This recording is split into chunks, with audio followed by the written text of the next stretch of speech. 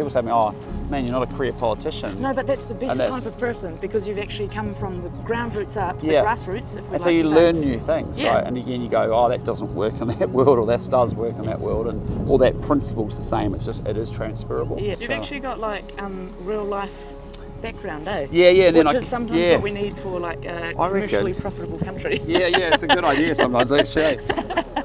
yeah.